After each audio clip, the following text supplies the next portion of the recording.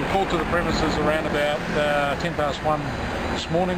The um, uh, Emporium section of the building was well involved in fire. Uh, the has pretty much taken out most of Geoff's Emporium. Heat and smoke's gone right through the rest of the building to quite a severe degree.